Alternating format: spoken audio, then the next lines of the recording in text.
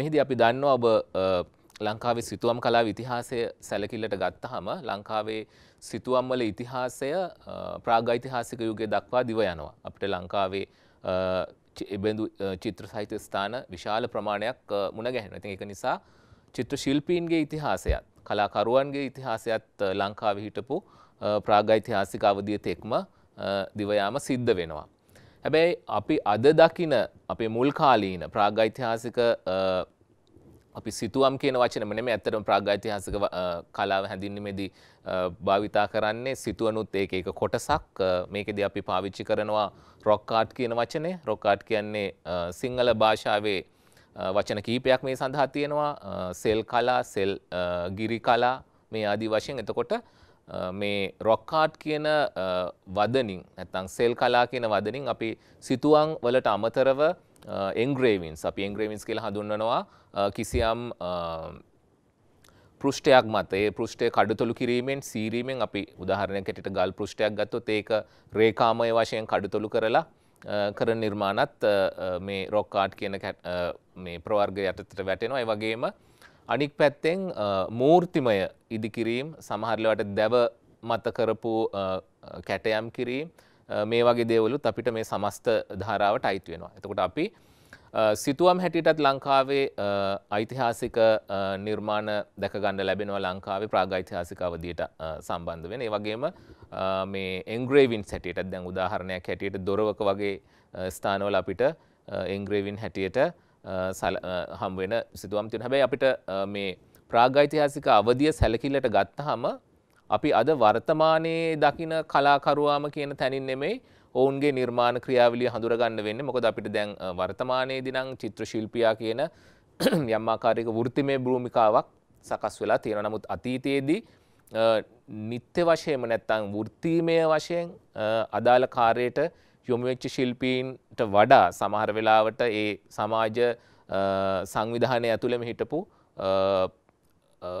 නිශ්චිත කාර්යභාරයක් හැටියටම මේ චිත්‍ර ඇඳීමේ ක්‍රියාවලිය ඉදුණු පිරිස්ගේ පිරිස්වලත් මේ නිර්මාණ ක්‍රියාවලියට සම්බන්ධ වෙන්න ඇති කියලා අපිට මේ විශ්වාස කරන්න පුළුවන් සාධක තියෙන. එතකොට අපිට කලාකරුවාගේ ආරම්භය නැත්නම් සාම්ප්‍රදායික කලාකරුවන්ගේ ආරම්භය අපිට මුලින්ම අඳුනගන්න ලැබෙන්නේ නිර්මාණ ක්‍රියාවලිය කෙරෙහි යම් සංවේදී භාවයක් තිබිච්ච නැතිනම් ඒ පිළිබඳව යම් උනන්දුවක් තිබිච්ච ඒ ක්‍රියාවලියට සමහර වෙලාවට තමන්ගේ දෛනික ජීවිතයම කොටසක් බවට පත්වෙච්ච අන්න ඒ ඒ සමස්ත ජීවන රටාවේම එක කොටසක් හැටියටයි.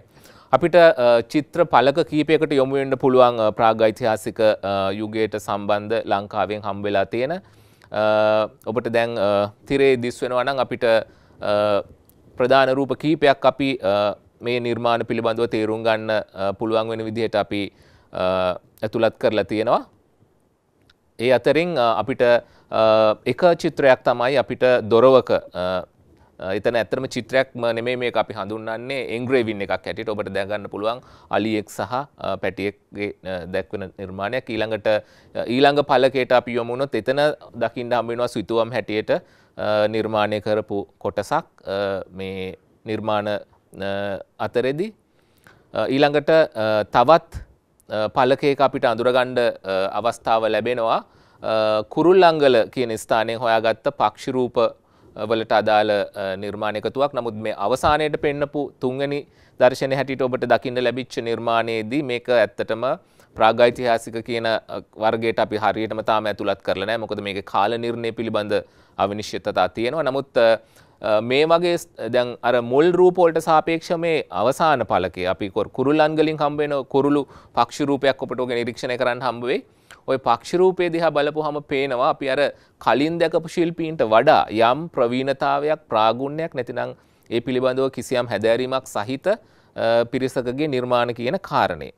තොර ලංකාවේ චිත්‍ර ශිල්පීන් නැතිනම් මේ නිර්මාණකරුවන් අපි පොඩ්ඩක් යුරෝපය වගේ පැත්තකදී යුරෝපය වගේ තැනක ඉන්න නිර්මාණකරුවන්ගේ කෘතිවලට සාපේක්ෂව බැලුවොත් යුරෝපය ගොඩක් වෙලාට අපිට පේනවා දැන් ලැස්කෝ වගේ ගුහා ගත්තහම ඇල්ටමීර වගේ ගුහා ගත්තහම මේ ගුහාවල නිර්මාණය කරලා තියෙන සිතුවම් ඉතාම මේ අර සත්‍යය සත්තුන්ට ගොඩක් දුරට සමාන විදිහට ස්වභාවිකවාදී ලක්ෂණ බොහොම හොඳින් අවධාරණය වෙන විදිහට තමයි නිර්මාණය කරලා තියෙන්නේ. නමුත් ලංකාවේ ශිල්පීන් අපිට වක් තියෙනවා මේ ප්‍රවර්ගයටත් අයිති වෙන. එතකොට මම කොටස් දෙකක් සඳහන් කළා රොක් ආට් කියන ධාරාව යටතේ නැත්නම් සෙල් සිතුවම් සෙල් කලා කියන ධාරාව යටතේ අපි එක කොටසක් අඳු ගන්නවා ප්‍රාග් ඓතිහාසික සිතුවම් හැටියට ඊළඟ කොටස අඳුර ගන්නවා ප්‍රාකෘතික සමාජවල නැත්නම් ප්‍රිමිටිව් ආර්ට්ස් කියන ප්‍රවර්ගය යටතේ.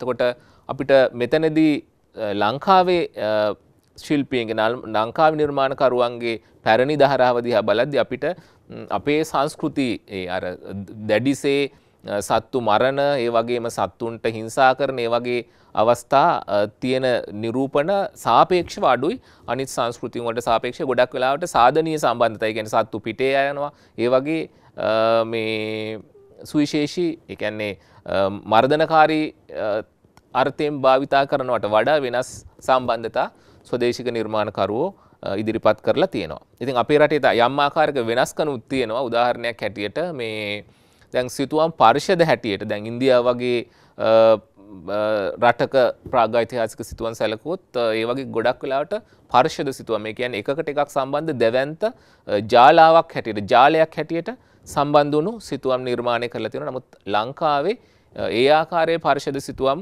ඊටාම විරලයි. සීමා සහිත ප්‍රමාණයක් අපිට එහෙම අඳුරගන්න ලැබෙනවා. ඒ වගේම ඉන්දියාවේ සිතුවම් එක තව සාපේක්ෂව අපි තව කාරණා කිහිපයක් මතක් කළොත් දැන් සමහර නිරූපණවල හම්බ වෙනවා සත්තුන්ව මරලා සත්තුන්ගේ ශරීර අභ්‍යන්තර කොටස් නිර්මාණය කරලා තියෙන අවස්ථා. එතකොට අපිට ලංකාවේ ඒ වගේ දර්ශන අඳුරගන්න ලැබෙන්නේ සත්තුන්ගේ අර එකට අපි ඉංග්‍රීසි භාෂාවෙන් කියන X-ray view figures කියලා. ඒ කියන්නේ අර හරියට X-ray රූපයක් අරගෙන ශරීරයේ අභ්‍යන්තර කොටස් ඒ වියවච්ඡේදක කොටස් දැක්ක වගේ මේ නිරූපණය කරලා තියෙනවා. ඉතින් ලංකාවේ ඒ වගේ අභ්‍යන්තර කොටස් ඇඳීම අඩු ඒ වගේම සත්තුන්ගේ විස්තරාත්මක ලක්ෂණ දැක්වීමත් විරලයි. ඒ කියන්නේ උදාහරණයක් හැටියට ශරීරවල් වල තියෙන රටා මෝස්තර ඒ වගේ දේවල් සීමා සහිත ප්‍රමාණයක තියෙනවා. නමුත් දැන් බිල්ලා වගේ තැන්වලත් ඊටාම කෙටි ස්ථාන මේ නිදර්ශන කීපයක් ලංකාව සීමා සහිත නිදර්ශන ප්‍රමාණයක් හම්බ වෙනවා. නමුත් සාපේක්ෂව අඩුයි. තොර ලංකාවේ අපිට චිත්‍රකලාව චිත්‍ර ශිල්පියාගේ භූමිකාව අපි සාකච්ඡා කරමින් ඉන්නේ චිත්‍ර ශිල්පියාගේ භූමිකාව එක්තරා තීරණාත්මක හැරවුම් ලක්ෂයක් තමයි අපිට මහින්දාගමනයත් සමග සිද්ධ වෙන ලංකාවට සංගමිත්තා මෙහෙණින් වහන්සේගේ පැමිණීමත් එක්ක අපි දන්නවා ශිල්පීන් කුල 18ක් ගේ ආගමනය පිළිබඳව අපි සාකච්ඡා කරනවා. එතකොට මෙතන නිර්මාණකරුවන් සිටිය බවට අපිට සඳහන් වෙනවා වාර්තා වෙනවා. එතකොට ලංකාවේ දැනට අපි ඒකින් කියවෙන්නේ නැහැ දැන් මම අර ප්‍රාග්යිතිහාසික සිතුවම් පිළිබඳව යම් අදහසක් මතු කළේ මෙතනදී අපේ ලංකාවේ ස්වදේශික සිත්තර පරම්පරාවේ ආරම්භය මහින්දාගමනයට පෙර ඊට වඩා දීර්ඝ කාලයකට යනවා කියන කාරණේ පෙන්වන්න. එතකොට සංස්කෘතික වශයෙන් නිර්මාණකරුවෝ ලංකාව ඇතුලේ මහින්දාගමනය සිද්ධ වෙන විටත් හිටියා. එතකොට ඒ අතරතුරේදී අපිට මේ ඉන්දියානු පැමිණීම නැත ඉන්දයානු කුලයන්ගේ පැමිණීමත් එක්ක තවත් ධාරාවක් ඒ කියන්නේ ඉන්දයානු සංස්කෘතික දහරාවට නැත්තං අශෝක රජ්ජුරුවෝ ගොඩනංවලා තිබිච්ච ඒ කලා දහරාවේ ආභාෂය සහිත තවත් නිර්මාණ කරුවන් සංචිතයක් ලංකාවේ කලාවට සම්බන්ධන ඇතකොට යම් ආකාරයක ඉන්දයානු ආභාෂය තවදුරටත් සම්බන්ධ වුණු නැතිනම් අපි මේ ඇත්තරම සංස්කෘතික වශයෙන් පෝෂණයකට ආධාරකුණු සංසිද්ධයක් හැටියට තමයි අපිට ඉන්දයානු ශිල්පීන් ලංකාවට පැමිණීම අපිට අඳුරගන්න ලැබෙන්නේ.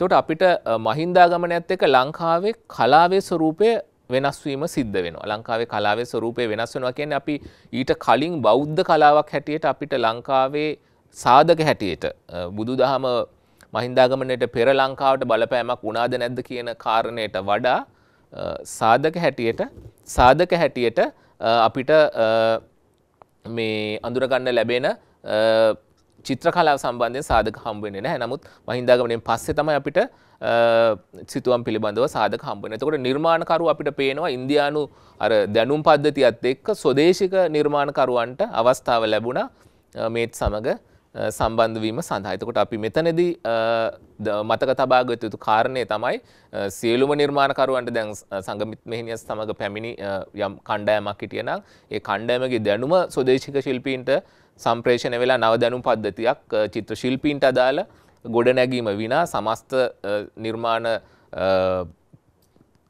නිර්මාණකරුවන් සියලු දෙනාම ඉන්දියාවෙන් ආවා කියන තත්ත්වය අපිට පිළිගන්න පුළුවන් සත් මේ පිළිගත හැකි කාරණයක් නෙමේ. එතකොට දැන් ලංකාවට චිත්‍රශීල් නිර්මාණකරුවන්ගෙන් ආభాෂය ආවට පස්සේ මේ නැත්නම් ආගමනය සිද්ධ වුණාට පස්සේ ලංකාවේ අපිට පේනවා වැඩි කාලයක් යන්න අති දැවැන්ත නිර්මාණ විවිධ නිර්මාණ ව්‍යාපෘති ගණනාවක් සිද්ධ වෙනවා. දැන් උදාහරණයක් හැටියට දුටුගැමුණු රජුරන්ගේ කාලේ වෙනකොට රුවන්වැලි සෑය වගේ කියන්නේ ආසියාවේ ඒ කාලේ සමකාලීන විදිහට දැවැන්තම විශාල ස්මාරකයක් එක පැත්තකින් අනි පැත්තෙන් නිර්මාණ ඉංජිනේරු තාක්ෂණික ක්‍රියාවලියක ප්‍රතිඵලයක්. තොර ඒ වගේ දැවන්ත විහාර කර්ම නිමවීමෙන් පේනවා ලංකාවේ ඉතාම ඉහලින් එකන්නේ චිත්‍ර ශිල්පය විතරක් නෙමේ අනිත් ඉංජිනේරු තාක්ෂණය ඉදිකිරීම් තාක්ෂණය සැලසුම් කරන මේ වගේ ගොඩක් දේවල් වල විශාල වර්ධනයක් සිද්ධ වුණා කියලා. නමුත් අවාසනාවකට අපේ පැරණි සාහිත්‍ය ග්‍රන්ථවලින්වත් අපිට ප්‍රමාණවත් තොරතුරක් හම්බ වෙන්නේ නැහැ. අපේ නිර්මාණකරුවන්ගේ තොරතුරු නිර්මාණ කරුවන් පිළිබඳ තොරතුරු. නිර්මාණ ක්‍රියාවලි පිළිබඳව යම් යම් සිදුවීම් මේ තොරතුරු හඳුනාගත හැකි වුණත් නිර්මාණ කරුවන් කවුද කියන එකට අපිට නාමිකව අඳුරගන්න ලැබෙන්නේ නැහැ. උදාහරණයක් හැටියට රුවන්වැලි සෑය ඉදිකිරීමට සම්බන්ධ නිර්මාණ කරුවෙක් ගැන එතුමා ඒ ඉංජිනේරුවා පිළිබඳව සඳහනක් තියෙනවා. ඒ වගේම රුවන්වැලි සෑය ඇඳලා තිබිච්ච දේවල් පිළිබඳවත් අපිට මහා වංශයේ, තූප වංශයේ මෙන්න මේ දෙකේ තියෙන විස්තර වලින් හඳුරා ගැනීමේ හැකියාව තියෙනවා. දැන් උදාහරණයක් හැටියට මේ මහාවංශ සහ තූපවංශ විස්තර අනුව රුවන්වැලි සෑයේ ගර්භය ඇතුලේ ගර්භ ගෘහය ඇතුලේ චිත්‍ර ශිල්පීන්ගේ නිර්මාණ පිළිබඳව සඳහන් වෙනවා. ඒකේ ඇඳලා තිබිච්ච නිර්මාණ අතර සත්සතිය ඊට පස්සේ පරිණිර්වාණය තුසිත දිව්‍ය ලෝකේ ඊට පස්සේ වෙස්සන්තර ජාතකය. මෙන්න මේ දර්ශන නිර්මාණය කරලා තිබිච්ච බව සඳහන් වෙනවා. නමුත් අපි දන්නවා රුවන්වැලි සෑයත් අවස්ථා ගණනාවකදී පසු කාලීනව ප්‍රතිසංස්කරණය කරුණ පොළොන්නරුව අවදයේදී ප්‍රතිසංස්කරණය කරුණ ආපහු නැවත නටබුන් වෙලා තිබිච්ච ගොඩනැගිල්ල බිත්‍රන්ද අවදීදී ප්‍රතිසංස්කරණය කරුණ. ඇතුට මුල් ස්වරූපය රුවන්වැලි සෑ තිබිච්ච අපි දැන් දකින ස්වරූපයට වැඩිය වෙනස්. ඒවගේම මුල් ධාතු ගර්භ ඇතුළේ සිතුවම් ඇඳීම කියන එකත්. මේ කාරණ සම්බන්ධ මම පොඩි අදහසක් දක්වන්න කැමති මොකද මුල්ම කාල ඇත්තරම හිතාගෙන හිටිය මේ ධාතු ගර්භ සිතුවම් කියන කාරණය මේ නිකම් ප්‍රබන්ධාත්මක අතිශෝක්ත මේ කාරණයක් හැටියට නමුත් පසු කාලීනව අපිට මහියංගනය මේ ආදී ස්ථාන ගණනාවකින් අපිට සාක්ෂි සහිතව පුරාවිද්‍යා සාක්ෂි සහිතවම ඔප්පු කරන්න අවස්ථාව ලැබුණා ධාතු ගර්භ සිතුවම් ඇඳීම සිද්ධ වුණා කියන කාරණය සහ ඒ සඳහා සොයාගත්ත කැනීම් වලින් සොයාගත්ත අවශේෂත් වර්තමානයේදී අපිට දැක ගන්න පුළුවන්. එතකොට රුවන්වැලි සෑය වගේ ස්තූපයක් ගොඩනගා ගැනීමදිත් නිර්මාණ චිත්‍ර ශිල්පීන්ගේ 10 ඒ අභ්‍යන්තර කොටසදී චිත්‍ර ඇඳීම සඳහා සිද්ධ වෙලා තියෙනවා. එතකොට ඒක වැදගත් කාරණයක් සහ මෙතනදී අපිට පේනවා මං කලින් කියපු තේමාවලිය ආපහු මතක් කළොත් අර පරිනිර් මේ බුද්ධත්වය ඊට පස්සේ සත් සතිය පරිනිර්වාණය ඊට පස්සේ වෙස්සන්තර ජාතකය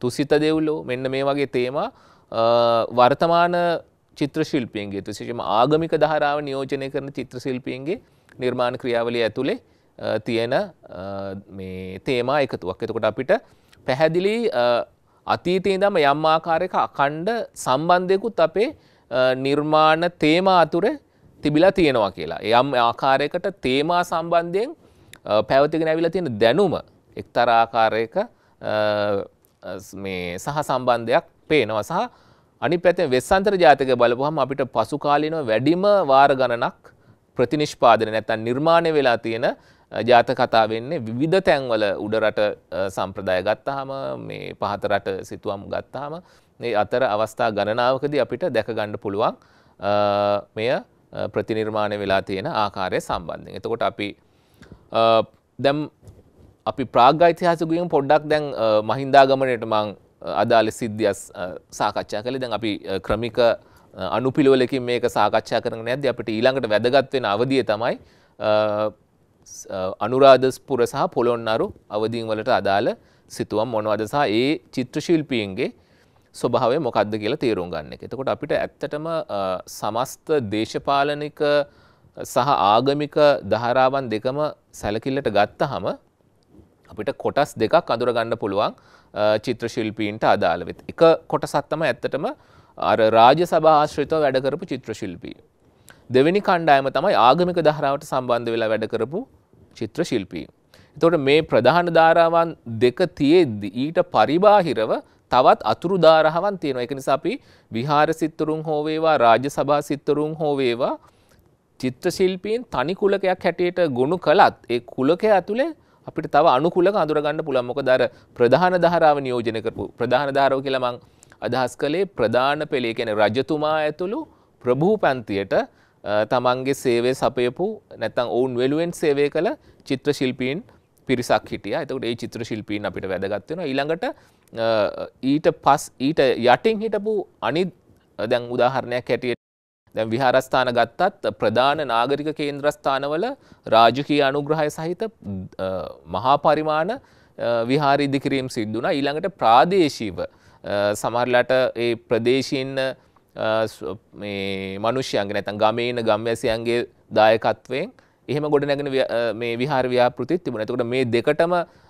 සේවය සැපුවේ එක මේ ශිල්පීන් කණ්ඩායමක් නෙමෙයි. ගොඩක් කලාවට රාජකීය අනුග්‍රහය ලැබිච්ච ප්‍රධාන උදාහරණයක් හැටියට අපි ගත්තොත් රුවන්වැලි සෑය ඊට පස්සේ අභයගිරිය ජේතවනාරාමය මේ වගේවා තාම දැවන්ත සහ ප්‍රධාන ධාරාවේ සංකීර්ණ ආරාම සංකීර්ණ. එතකොට මේවට සේවය කරන්න ගොඩක් වෙලාවට අවස්ථාව ලැබෙන්න ඇති කියලා අපිට අනුමාන කරන්න පුළුවන්. අර රාජ්‍ය සභාවලට සම්බන්ධව හිටපු එහෙම නැතිනම් අර ආගමික ධාරාව ඇතුළෙත් ප්‍රධාන කුලකය හැටියට නියෝජනය කරපු ශිල්පීන්ට තමයි අවස්ථාව ලැබිලා තියෙන්නේ.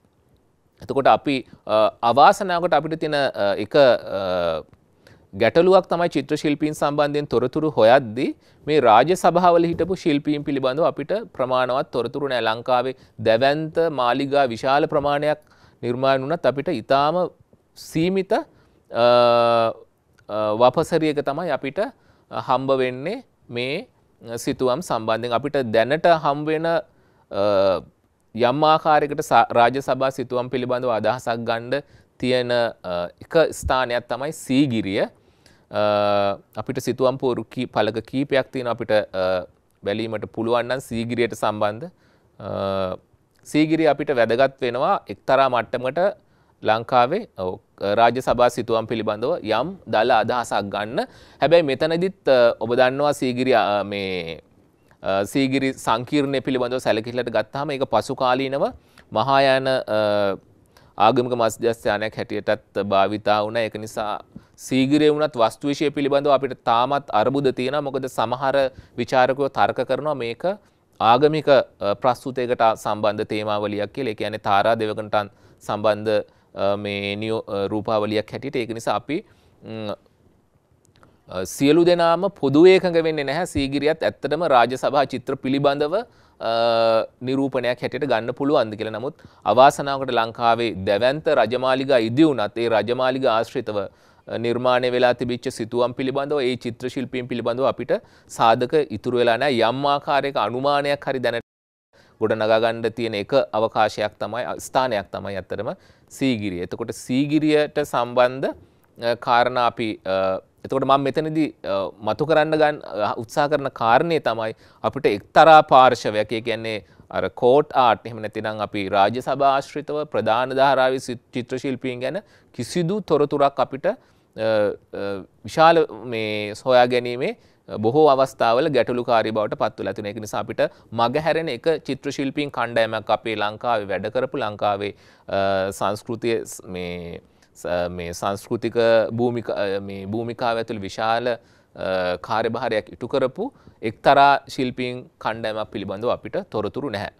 ඊළඟට තියෙන තොරතුරුත් සීගිරිය වගේ තොරතුරු අපිට නමුත් සීගිරිය තියෙන එක වැදගත්කමක් තමයි අපිට ඒක ප්‍රධාන රාජ්‍ය අනුග්‍රහය ලද සහ ඒ රාජකීය සහ එයින් පසුවත් යම් ආකාරයක ප්‍රධාන ධාරාවේ මධ්‍යස්ථානයක් හැටියට ක්‍රියාත්මක වෙච්ච ස්ථානයක් නිසා අපිට එය ආගමික වේවා රාජ්‍ය සභා වේවා අර ප්‍රධාන ධාරාවේ නිර්මාණකරුවන්ගේ සිතුවම් වල ශෛලිය නිර්මාණ ක්‍රියාවල නිර්මාණ නිපුණතාවය පිළිබඳ අවබෝධයක් ගණ්ඩ අපිට සීගිරිය වැදගත් උදාහරණයක් වෙනවා එකන ඒ පැත්තෙන් අපිට සීගිරිය ප්‍රයෝජනවත් වෙනවා.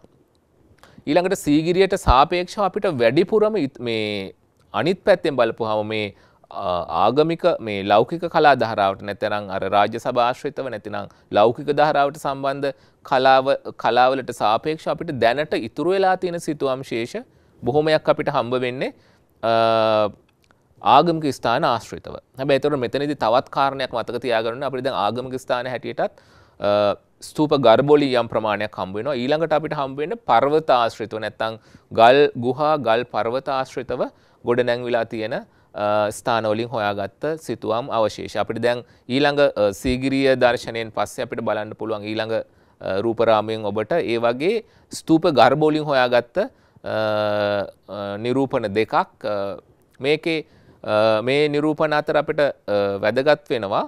එක මේ ස්තූප ගර්බොල සිතුවන් ඇදීම කියන කාරණයේදී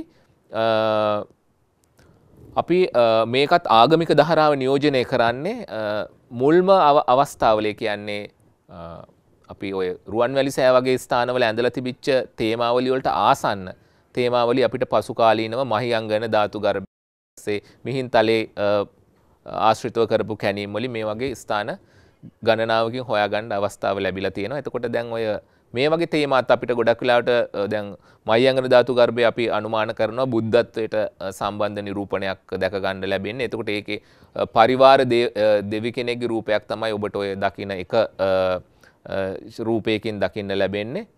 මෙතන බුද්ධ රූපයකුත් තියෙනවා. සමහර කොටස් මේකේ පහළ කොටස් හානි වෙලා තියෙනවා. බුදුහාමුදුරුවෝ බෝධි වෘක්ෂයක් යට වැඩ හිටින ආකාරයත් ඊට පස්සේ වටේ දෙවිවරු වන්දනා කරන අවස්ථාවකුත් තියෙනවා. ඊළඟට අපිට මිහින්තලින් ඒ වගේම ස්ථානයකින් කැනීම් වලින් හොයාගත්ත රූපරාමුවක් තියෙන ඔය කළු සුදු ආකාරයෙන් තියෙන චිත්‍රය. එතකොට ඒකෙදිත් ඒක ඇත්තටම අපිට පේන්නේ දැන් මේ දෙක බලපුවහත් පේනවා යම් ආකාරයකට සිතුවම් ගුරුකුල කීපයක් වැඩ කරලා තියෙන බව. එතකොට අපිට මේ දැනුම් පද්ධතිය සමාන වුණාට ඒ අතරදි ගුරුකුල හැටියට එහෙම නැතිනම් ශිල්පීය අනන්‍යතා අතර වෙනස්කම් ශිල්පීය ශිල්පීටයන්ට ආවේනික වෙනස්කම් තමන්ගේ මේ නිර්මාණ ක්‍රියාවලිය ඇතුළෙදි අඳුරගන්න පුළුවන්. ඒක ඇත්තටම ඔය ඔය රූපරාමුවේ ඔබට දැන් දිස් වෙනවා නම් කළු සුදු ආකාරයෙන් තියෙන මේ චිත්‍රයේ ඒක අපිට පේනවා. යම් ආකාරයකට සම්පූර්ණ නොකරලා එක්තරා විදිහකට කටු සටහන් වගේ නිර්මාණය කරපු ස්වරූපයක්. ඕක මධ්‍ය රේඛාවක් එක පැත්තකින් දකින්න ලැබෙනවා. ඊට පස්සේ ශරීර අනුපාතත් යම් ආකාරයකට වෙනස්. සෞක අපිට ඊළඟ රූපරාමෝට ගියොත් අපිට දැක ගන්න පුළන් දේවරූප සමූහයක් පොළොන්නරුවේ තිවංක පිළිමගෙයින් අපිට හමු වෙන දේවරූප සමූහයක්. එතකොට ওই දේවරූපත් අපිට ඒකත් ආගමික දහරාවක්. එතකොට අර ඔබ මේ දර්ශන තුනට දැකපු සීගිරිය ඊට පස්සේ ස්තූප ධාතු ගර්භාශ්‍රිතව හම්බෙන නිරූපණ සහ තිවංක පිළිමගේ විචිත්‍රවත් විදිහට ඇඳලා තියෙන ඉතාම දක්ෂ රේඛාකරණයක් සහිත තිවංක පිළිමගේ නිරූපණ බලපුවම අපිට පේනවා. ශිල්පීන් අතර දැන් මේ ලොකු යුග යුග අතර ලොකු පරතරයක් තිබුණත් ඒ කියන්නේ අනුරාධපුර යුගය සහ පොළොන්නරු යුගය නියෝජනය කරන චිත්‍ර සංචිත වුණාට ශිල්පීන් භාවිතා කළ තිබිච්ච දැනුමේ ලොකු වෙනසක් වෙලා නෑ කියන රේකා මූලිකව නිරූපණය කරලා තියෙන ආකාරය වර්ණමාලා ඊට පස්සේ ශරීරයේ සුන්දරත්වය බියුටි කියන එක පිළිබඳව ශිල්පියක් ගොඩනගන්න උත්සාහ කරලා තිබිච්ච ආකාරයේ වස්ත්‍රාභරණ දැක්වීම එතකොට මේ සමාන දැනුම් පද්ධතියක් තමයි ලංකාවේ චිත්‍ර ශිල්පීන් අතර භාවිතා වෙලා තියෙන්නේ. එතකොට අපි ওই දකින සීගිරිය සහ පොළොන්නරුවේ තිවංක පිළිමගේ අපි අර ප්‍රධාන දහරාවේ ශිල්පීන්ගේ මොකද ඒවා රාජකීය අනුග්‍රහය සහිතව ලැබිච්ච නිරූපණ ඒක නිසා ප්‍රධාන ධාරාවක ශිල්පීන්ගේ නිරූපණ හැටියට අපිට අඳුරගන්න පුළුවන් මේදී අපි තව ඔබගේ අවධානයට ලක් කළ යුතු කාරණයක් තමයි දැනට අපිට තියෙන සාහිත්‍ය මූලාශ්‍ර සහ සෙල්ලිපි වගේ මේ මූලාශ්‍ර හරහත් අපිට චිත්‍ර ශිල්පීන් පිළිබඳව තොරතුරු හොයාගන්න පුළුවන්ද කියන එක. එතකොට දැන් අපි මහාවංශ වගේ ප්‍රධාන වංශ කතා සැලකිල්ලට ගත්තාම මේ වංශ කතාවල ගොඩක් වෙලාවට තියෙන්නේ අනුග්‍රහකයා පිළිබඳව තොරතුරු දැන් උදාහරණයක් හැටියට අපි දුටිගමනු රජ්ජුරුව වගේ එතුමා කරපු නිර්මාණ ක්‍රියාවලිය පිළිබඳව මහතූපය ගොඩනැගීම පිළිබඳ විශාල විස්තරයක් අපිට මහාවංශය වගේ මූලාශ්‍රවල හම්බ වෙනවා. වගේම තූප වංශයේ දීර්ඝ විස්තරයක් හම්බ වෙනවා. නමුත් නිර්මාණකරුවන් පිළිබඳව අපිට ඔවුන්ගේ සමාජ පසුබිම ඔවුන් අඩුම ගානේ අපිට මොවුන්ගේ නාමයක්වත් අපිට සොයා ගැනීමේ මේ ගැටලු සහගත තැන් තියෙනවා. නමුත් සමහර සෙල්ලිපිවල අපිට හඳුනගන්න පුළුවන් ඒ වගේ ඉතාම ඒවත් විරල අවස්ථා දැන් එක සෙල්ලිපියක අපිට එහෙමගේ චිත්තක රදත කියන මේ චිත්තකාර දත්ත කියන නිර්මාණකරුවා පිළිබඳව සඳහනක් හම්බ වෙනවා. එතකොට ඊළඟට හතරවැනි මිහිදු රජුරන්ගේ සෙල්ලිපියකත් චිත්ත ශිල්පීන්ට කරපු ගෙවීම් පිළිබඳව සඳහනක් ලැබෙනවා. නමුත් ඒ ශිල්පීන් කවුද නැතිනම් අර චිත්‍රකාර දත්ත වගේ නම් තිබුණට ඒ ඒ ශිල්පීන්ගේ පසුබිම් මොනවද මොවුන්ගේ කුල පරම්පරා මොනවද මෙන්න මේ කාරණා පිළිබඳව අපිට පැහැදිලි සාක්ෂි දැනට හම්බ වෙන අභිලේඛන වේවා නැත්නම් අපිට සාහිත්‍යමය මූලාශ්‍රවල තියෙන තොරතුරු අසුරෙන් අපිට තාම ස්ථිර නිගමනයකට පැමිණීමේ හැකියාවක් නැහැ. එතකොට අපි දන්නවා පසු කාලීන කියන්නේ මධ්‍ය කාලීන අවධියෙන් සහ විශේෂයෙන්ම මහනුවර සම්ප්‍රදාය වෙනකොට චිත්‍ර ශිල්පීන් විශේෂ කුලයකට සීමා වුණා. එතකොට ඒ කුලයෙන් පරිබාහිර පිරිස් වලට කුලක්‍රම ඉතාම දැඩිව අපි දන්නවා මධ්‍යකාලීන අවදීන් පස්සේ ලංකාව ඇතුළේ මධ්‍යකාලීන අවධියත් ඇතුළුව ලංකා බලපෑමක් සිද්ධ වුණා. එතකොට චිත්‍ර ශිල්පීන්ටත් ඒ ඒ ඒ ස්ථරායනයට අන්තර්ගත වුණා සහ ඒ සමාජ ව්‍යූහ ඇතුළෙමයි ක්‍රියාත්මක වෙන්න සිද්ධ වුණේ. නමුත් අපි අනුරාධපුර පොළොන්නරු වගේ අවදි බලද්දි ඒ චිත්‍ර ශිල්පීන්ට අදාළ කුල ක්‍රමයක් තියෙන්න ඇති කියලා පිළිගන්න පුළුවන් සාධක හම්බුණත් ඔවුන්ගේ සමාජ මට්ටම් ඒ ඒ අනිත් කාරණා පිළිබඳව විස්තරාත්මක තොරතුරක් කීමට අපිට තාම ලැබිලා තියෙන දත්ත ප්‍රමාණවත් වෙන්නේ නැහැ. ඊළඟට මං කිව්වා ආගමික අපිට දැනට හම්බෙලා තියෙන ශිල්පීන් පිළිබඳව වැඩිපුරම දෘශ්‍ය දත්ත හම්බ වෙන්නේ ආගමික කලාවට සම්බන්ධ නැත්නම් ආගමක ස්ථාන ආශ්‍රිතව හම්බ වෙන මූලාශ්‍රය. එතකොට මේ ආගමික ස්ථාන ඇතුලෙන් අපි බැලුවත් දැන් සමහර ස්ථානවල දැන් ඔබ දන්නවා ලංකාව පොළොන්නරු අවධියට කලින් චෝල රජවරුන්ගේ ආක්‍රමණයකට ලක් වෙලා යම් සැලකිය යුතු කාලයක් මේ යට ඔවුන්ගේ පාලනය යටතේ තිබුණ. එතකොට මේ කාලෙදී ගොඩ නැගුණු සමහර ඉදිකිරීම් තියෙනවා. දැන් ශිව දේවාල අපිට පොළොන්නරුවේ ගණනාවක් හම්බෙන. එතකොට මේ සමහර ශිව දේවාල වලත් අපිට පේනවා චිත්‍ර ඇඳලා තිබිච්ච බව. එතකොට අපිට ගොඩක් වෙලාවට අනුමාන කරන්න පුළුවන් මොවුන් දැන් මේ දේවාල හදලා තියෙන නිර්මාණ තාක්ෂණයත් ඒ කාරණත් එක්ක බලද්දී දකුණු ඉන්දියාවෙන් පැමිණි ශිල්පීනුත් චිත්‍ර ශිල්පීන් හැටියට මෙහි යම් ආකාරයකට සේවය කරන්න ඇති කියලා. නමුත් බහුතරයක් ලංකාවේ චිත්‍ර ශිල්පීන් ස්වදේශික පිරිසක් තමයි බෞද්ධාගමික විහාරස්ථාන ගොඩනැගීමේදී සම්බන්ධ වෙලා තියෙන්නේ. ලංකාවේ සංස්කෘතිය දිහා බලද්දී අනිත් සමාජ සංස්කෘතින් වලට සාපේක්ෂව වැදගත් වෙන කාරණා කීපයක් තියෙනවා. එකක් තමයි අපි අනිත් කිසිදු සංස්කෘතියක දක්නට නොලැබෙන ආකාරයේ අති දැවැන්ත විහාර පද්ධතියක් ලංකාව තුළ ඉදි වුණා. දැන් අර ප්‍රධාන දහරාවේ දැන් උදාහරණයකට සෑම ගමකටම විහාරස්ථානයක් පැරණි සමාජය ඇතුළේ අපිට දකින්න හම්බ වෙනවා සහ වැබයි දාගබයි ගමයික් පන්සලයි වගේ ඒ සමාජ ව්‍යුහත් අලුතෙන් ගොඩ නැගුණ ඊට පෙර නොතිබුණු මහින්දාගමනට කලින් තිබිච්ච නැති. එතකොට අපිට ලංකාවේ විසිරලා තියෙන පන්සල් ප්‍රමාණය දිහා බලද්දි අපිට පේනවා මේ පන්සල් විතරක් සැලකිල්ලට ගත්තත් අනිත් රාජ්‍ය සභා කලාව පැත්තකින් තියලා මේ පන්සල් විතරක් සැලකිල්ලට ගත්තත් ලංකාවේ අති දැවැන්ත චිත්‍රශිල්පීන් සංචිතයක් ඉඳලා තියෙන්න ඕන ඒ වගේ ඇඳීම් කටයුතු සහ නැවත ප්‍රතිසංස්කරණ කිරීම නඩත්තු කිරීම කරන්න. එතකොට අවාසනාවකට අපිට ඊටාම ස්ථාන සුරක්ෂිතව පවතිලා තියෙන ස්ථාන ඉතාම අතලොස්සයි අනුරාධපුර පොළොන්නරුව වලට සාපේක්ෂව අපිට හම්බෙන්න විශාල ප්‍රමාණයක් විනාශ වෙලා තියෙන්නේ. නමුත් එහෙම තිබුණත් අපිට ශිල්පීන් ගැන යම් අදහසක් ප්‍රකාශ කරනවා අපිට පේනවා අති දැවැන්ත නිර්මාණ ශිල්පීන් සංචිතයක් ඉන්න ඕන මේ විහාරවල ව්‍යාප්තිය අනුව අපි චිත්‍ර ශිල්පීන් හිටියයි කියන කාරණය සැලකිල්ලට ගත්තොත්.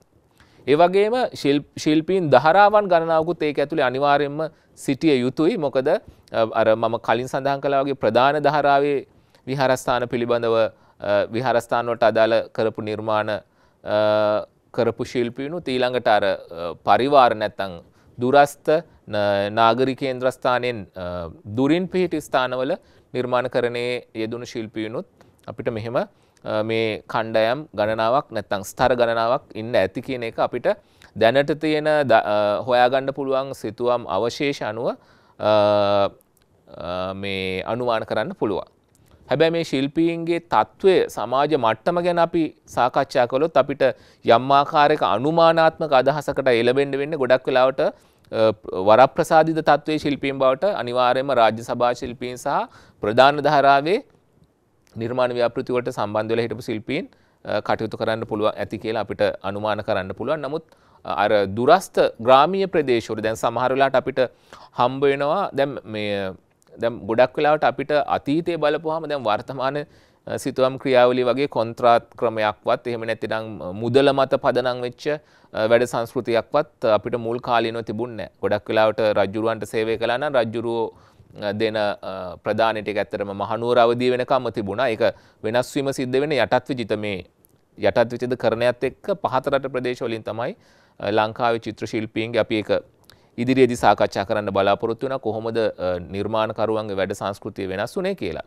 නමුත් මට මෙතනදී අර අපි උඩරටත් තැබුණ ඇත්තටම අනුග්‍රහකයා අදාළ කාර්ය සිතරට පැවරුවාට පස්සේ අනුග්‍රහකය දෙන කැමති ප්‍රධානයක් බාරගන්නවා. ඒ කියන්නේ අපි යම් කිසි මුදලක් නිශ්චිත කරලා කාලයක් නිශ්චිත කරලා එහෙම යන සංස්කෘතියක් නෙමෙයි අපිට අතීතයේදී නිර්මාණකරුවන්ගේ නිර්මාණ ක්‍රියාවලිය සකස් වෙලා තිබුණේ. හැබැයි අපි දන්නවා රාජකීය සහ අර ප්‍රධාන දහරාවේ නිර්මාණකරුවන්ට ඔවුන්ගේ මොකද දැන් බෞද්ධ ආගමික ස්ථානවලදීත් මේ එක්තරා ඒ සංස්කෘතික රාමෝ විසුණුත් පනවලා තියෙන කාරණයක් තමයි නේද අර අපි දැන් ඊජිප්තු වගේ තැන්වලදී අපි දන්නවා වහල්ලු හැටියට ශිල්පියා භාවිතා කළා. ශිල්පීන්ට ඉතාම අමානුෂික විදියට සලකමින් ඊට පස්සේ දැඩි නීති රීති මැද්දේ කම්කරුවෙක් නැත්තම් වහලෙක් Tamanට අර ස්වාධීන නිර්මාණකරුවෙක් හැටියට හැසිරෙන්න තියෙන ඉඩකට ගොඩක් වෙලාට සීමා වෙලා තිබුණේ ඒ වගේ සංස්කෘතියන් ඇතුලේ. නමුත් බෞද්ධ සංස්කෘතිය ඇතුලේ එබඳු තත්වයක් ඒක බුදුදහම විසින් අනුමත කළෙත් නෑ සහ සමාජ රාමෝ විසින් අනුමත කළෙත් නෑ ශිල්පියාව දැඩිසේ පීඩනයට පත් කරලා සේවය ලබා ගැනීම කියන කාරණය. ඒක නිසා අපි අපිට දැනට මහනුවර අවධියට සාපේක්ෂව දීලා තියෙන ප්‍රධාන එක්ක බලද්දිත් අපිට පේනවා අතීතයේදීත් ඔවුන්ට ශිල්පීන්ට තමන් කරපු කාර්ය අර කොන්ත්‍රාත් ක්‍රමයක් ඕන නැතිනම් වැටුපක් මත පදනම් වෙලා නොතිබුණත් කාර්ය අවසන් වුණාට පස්සේ ශිල්පියාට ශිල්පියා සතුට වෙන ආකාරයට ඔහුගේ අදාළ නිර්මාණ ක්‍රියාවලිය ඇගේන ආකාරයට යම් ප්‍රධානයන් කරන්න ඇති කියලා. ගොඩක් වෙලාට දැන් අපි මුදල්මය ප්‍රධානවලට අමතරව ඉඩ කඩ මේ වගේ දේවල් අපිට මේ මහනුරවදීදිත් අඳුරගන්න පුළුවන්. පහත රටක් මේ අනුරාධපුර සහ පොළොන්නරුව අවදිවලත් අපිට ඒක අනුමාන කරන්න පුළුවන්. ඊට සමාන මූල්‍ය මේ ප්‍රධාන හෝ ද්‍රව්‍යමය ඉඩ කඩම් මේ වගේ ප්‍රධානයන්ගෙන් ශිල්පියාට තමන්ගේ නිර්මාණ ක්‍රියාවලියට අදාළ ඒ වැටු වැටුපක් මනෙම ඇත්තර මේ ක්‍රියාවලිය ඇගීම සඳහා යම් ප්‍රධානයක් ලැබෙන්න ඇති කියලා. එතකොට ඒ එහෙම නිර්මාණ කරණය නියලෙදි අනිත් පැත්තෙන් අපිට තවත් පැත්තක් පේනවා චිත්‍ර ශිල්පියාගේ භූමිකාව මේ සාධනය තලයක තියෙන්ට ඇති කියලා. මොකද අතීතයේදී විහාරස්ථාන තමයි විහාරස්ථාන තමයි අපිට මේ නිර්මාණ ක්‍රියාවලිය සම්බන්ධයෙන් ප්‍රධාන භූමිකාවක් භූමිකාවක් දරපු සහ අධ්‍යාපනික ආයතන වශයෙන් තිබිච්ච ප්‍රධානම ස්ථාන. එතකොට සහ ඒවට ඉතාම දැන් විහාරගම් නින්දගම් මේ වගේ දේවල් දේවාලගම් මේ වගේ දේවල් ලැබීම නිසා මේ ආයතන ඇත්තරම ස්වාධීනව නඩත්වීමේ හැකියාවත් තිබුණ එතකොට ඒවට යම් ශිල්පීම් පිරිසක් සේවය කලානම් ඔවුන්ට අතේ ආගමික සංස්ථාව ඇතුළ තිබිච්ච ස්වම්පෝෂිත භාවය ඒකට තිබිච්ච බලය කියන සමාජමය බලයකුත් එක පැත්තිකින් තිබුණ අනිත් පැත්තෙන් භික්‍ෂූන් වහන්සේලාට රජ්ජුගේ උපදේශකයින් හැටියට එක්තර විදික දේශපාලන අධිකාරයකුත් තිබුණේ. සියලුම කාරණත් එක් අපිට අනුමාන කරන්න පුළුවන් මේ ආගමික දහරාවට සේවය කරපු ශිල්පීනුත් අර අපිට අර මධ්‍යකාලීන යුරූපයේ දකින වගේ හෝ එහෙම නැතිනම් අර ඊජිප්තු වගේ දකින වගේ එහෙම පීඩාවට පත් වෙලා නැතිනම් ක්‍රාෆ්මන් කෙනෙක් විතරක්ම හැටියට වැඩ කරපු කෙනෙකුට වඩා යම් ආකාරයක ස්වාධීනව නිර්මාණ කරණයේ යෙදෙන්න අවස්ථාව ලැබිච්ච පිරිසක් කියලා අපිට අනුමාන කරන්න පුළුවන්. මෙතනදි තවත් වැදගත්කමක් තමයි ලංකාවේ ස්ථානගත වීම කියන කාරණේ ලංකාව සේදමාවතේ එක්තරා විදියක වෙළඳ කේන්ද්‍රස්ථානයක පිහිටා තිබීම නිසා බොහෝ සංස්කෘතීන් සමග හුවමාරුවීමට සහ ලංකාව ඉතාම මේ හොඳින් සක්‍රියෝ පැවති නාවික තොටුපොළවල් තිබුණ වරායවල් තිබුණ එතකොට මේ වරායවල් සහ මේ වාණිජ කටයුතු නිසා තදාසන්න රටවල්වල තිබිච්ච කලා ප්‍රවාහයන් පහසුවෙන් ලංකාවට පැමිණෙන්ට අවකාශය ලැබුණා. ඒක නිසා අපි ඔය දැන් අපි කලින් අවස්ථාවදි දැකපු දැන් සීගිරිය ඔය ඊට ආසන්න චිත්‍ර සම්පදා බලද්දි අපි දන්නවා ලෝක ආසියානු කලාපය ඇතුළේ ඊට කිට්ටුවෙන් ඊට සමාන ලක්ෂණ දරන තවත් සිතුවම් හම්බ වෙනවා කියලා. එතකොට මේ ශිල්පීන් වෙනස් වනාට ඔවුන් අතර භාවිතාවුණු දැනුම එකන කලාව චිත්‍ර කලාව කොහොමද මාන රූප අදින්න ඕන තියෙන මාන රූපයේ සුන්දරත්වය පිළිබඳ අදහස් දැන් උදාහරණයකට කාන්තා සුන්දරත්වය පිළිබඳව ගොඩ නගල තියෙන අදහස් අපිට සීගිරිය අජන්තා සංසන්ධනය කරද්දී බොහොම කිට්ටු සමානකම් පේනවා. ඒ විතරක් නෙමෙයි අපි අනිත් පැත්තට ගියත් චීනය වගේ රටවල් දිහා බැලුවත් අපිට මේ යම් යම් නිරූපණ ප්‍රකාශන ස්වරූපය වෙනස්කම් තිබුණට භාවිතා වෙලා තිබිච්ච දැනුමේ ඉතාම සමානකම් අපිට අඳුරගන්න පුළුවන්. ඒක නිසා සමකාලීන ආසියානු කලාපයම සැලකිල්ලට ගත්තත් දෘශ්‍ය කලාව පැත්තෙන් නැත්නම් චිත්‍ර ශිල්පීන්ගේ දැනුම් පද්ධතිය පැත්තෙන් බලද්දි ලොකු වෙනස්කම් හම්බ වෙන්නේ නැහැ.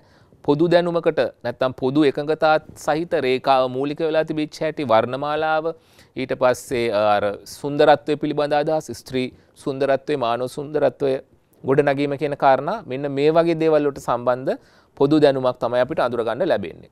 එතකොට චිත්‍ර ශිල්පියාගේ භූමිකාව අපිට මෙන්න මේ කාරණා ආශ්‍රයෙන් අපිට යම් ආකාරයක අදහසක් ගන්න පුළුවන් ලංකාවේ චිත්‍ර ශිල්පීන් ස්තර කීපයක් තිබිලා තියෙනවා සහ එක පැත්තක් ආගමික ධාරාවට සම්බන්ධයි අනිත් පැත්ත රාජ්‍ය සභා නිර්මාණ ක්‍රියාවලට සම්බන්ධයි සමහර පිරිස් මේ දෙකේම කටයුතු කළා කියලා අනුමාන කරන්න පුළුවන් කාරණා තියෙනවා. මොකද රජතුමා රජතුමා අනුග්‍රහ දැක්වපු අවස්ථාවලදී ගොඩක් වෙලාවට රාජ්‍ය සභා ශිල්පීන් මේ නිර්මාණ ක්‍රියාවලින් වලට අපිට යොදවන්න ඇති කියලා අනුමාන කරන්න පුළුවන් අවස්ථා තියෙන නිසා. එතකොට මේ තත්ත්වය වෙනස් වෙනවා. පොළොන්නරුවේදී අපිට වෙනස් විදෙස් ශිල්පීන්ගෙත් ක්‍රියාකාරකම් ලංකාව ඇතුළ අඳුව ගන්න ලැබෙනවා. මොකද මූර්ති ශිල්පී විතරක් නෙමේ චිත්‍ර ශිල්පියනුත් පොළොන්නරුවේ ඔය ශිවදේවාල සමහර කොටස් අපිට දැනුත් තාම කුඩාවිට ඉතුරලා තියෙන මේ චිත්‍ර අඳින ලද කොටස් අවශේෂ දැකගන්න පුළුවන් පූර්ණ සිතුවන් හැටියට ඉතුරු නොවුනත් එතකොට යම් ආකාරයකට ඒ දකුණු ඉන්දියානු දැනුම් පද්ධතිත් එක්ක වැඩ කරපු ශිල්පියනුත් හම්බ වෙනවා. ඊට පස්සේ ලංකාවේ චිත්‍ර කලාවේ තීරණාත්මක වෙනසක් සහ විශේෂම මේක චිත්‍රවලටත් වැඩිය මූර්ති වලට බලපෑව අපි දකිනවා මූර්ති කලාවේ බරපතල පරිහානියක් සහ කඩාවැලි වැටීමක් දකින්න ලැබෙනවා පොළොන්නරු රාජධානියෙන් බිඳ වැටිලා රට අනෙකුත් රාජධානී විෂ මේ රට අභ්‍යන්තරයට සංක්‍රමණ වෙන්න පටන් ගැනීම ආරම්භ වෙන කාලෙදී. එතකොට අපි දන්නවා කාලිංග මාගවන්නේ ආක්‍රමණිකයන් එක්ක ඒ ඇතිවෙච්ච තත්ත්වයක්. ඊට පස්සේ දේශපාලන බලය එක තැනක ස්ථාවර ස්ථාවර විදිහට පවත්ත ගන්න බැරිවීමත් ඊට පස්සේ ජලාශ්‍රිත ශිෂ්ඨාචාරය බිඳ වැටිලා ඒ ප්‍රදේශ වල්බිහි වෙලා ගියාට පස්සේ අපිට පේනවා රජවරුන්ටත් විවිධ තැන්වලට යාපහුව ගම්පල මේ වගේ දඹදෙනිය මේ වගේ විවිධ කුරුණෑගල මේ වගේ විවිධ ස්ථානන්වලට සංක්‍රමණ වෙන්න සිද්ධ වුණා. දේශපාලන අස්ථාවර භාවය ඕනෑම රටක බලපානවා නිර්මාණ ක්‍රියාවලියටත් අපේ ඉතිහාසය දිහා බැලුවත් පේනවා. එතකොට අපිට ශිල්පීන්ටත් අර දීර්ඝකාලයක් එක තැනක ස්ථාවර වෙලා ඉන්න අවකාශය ලැබෙන්නෙත් නෑ. නිර්මාණ ක්‍රියාවලිය කියන්නේ විහාර ගොඩනැගීම් මාලිගා ඒවා ගොඩනැගීම් උනත් යම් ආකාරයකට අඩපණ වෙනවා. විශේෂයෙන්ම ආගමික විහාර කර්මාන්ත ගොඩක් අඩපණ වුණා. මෙන්න මේ කාරණේ අපිට මේ අවස්ථාවේදී මේ සිද්ධ වෙච්ච මේ වෙනස්කම නිසා අපිට පුළුවන් මේ අපිට දකින්න ලැබෙනවා මේ රාජධානී අර වියලි කලාපයේ ඉඳලා අභ්‍යන්තර ප්‍රදේශයන්ට සංක්‍රමණ වෙද්දී අපිට වෙනස් වීමක් අඳුරගන්න ලැබෙනවා. අපි කෙටි විරාමයකට නැවතත් යොමු වෙලා අපි අපි ඊළඟ වැඩසටහනේදී බලාපොරොත්තු වෙන දැන් අපි අදට ලැබිලා තියෙන කාලය අවසానයි. ඒක නිසා අපි ඉදිරියේදී බලාපොරොත්තු වෙනවා අපි අදට සාකච්ඡා කළේ ලංකාවේ අනුරාධපුර පොළොන්නරු යුගයන් වලට අදාළ වෙන චිත්‍ර ශිල්පීන්ගේ භූමිකාව පිළිබඳව අපි තවත් සංවාද මාලාවකින් අපේ අතීතයේ චිත්‍ර ශිල්පීන්ගේ මහනුවර අවධිය ඊට පස්සේ ඒත් උඩරට පහතරට මේ ප්‍රදේශවල නිර්මාණකරුවන්ගේ ක්‍රියාවලිය පිළිබඳව තවත් විස්තරාත්මක ඔබත් සමග සාකච්ඡා කර පුරොත්තු වෙනවා. නැවතත් මේ වගේම වැඩ සටහනකින් හම්බ වෙන බලාපොරොත්තුවෙන් ඔබ සියලු දෙනාටම සුබ දවසක්.